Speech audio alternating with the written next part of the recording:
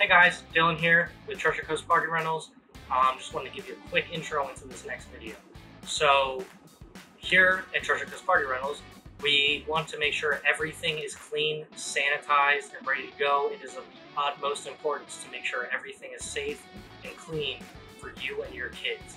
We clean everything as soon as it gets back to our doors so it is ready for the next delivery, whether it be inflatables, wedding supplies, snow cone or popcorn machines, tents, tables, chairs, everything.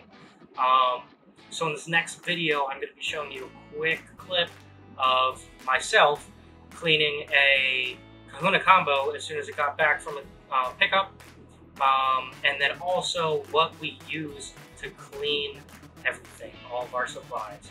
Hopefully this gives you um, good direction in picking the right party rental company. Thank you.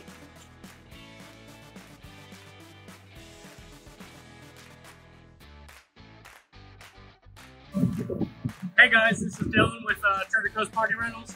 Um, we just got some deliveries back. This is the Kahuna Combo.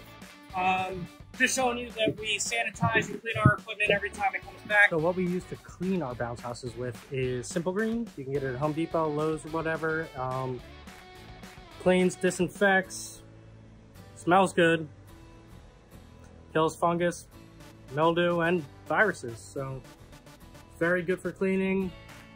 Keeps the bounce houses safe for children and adults if you want to get on it.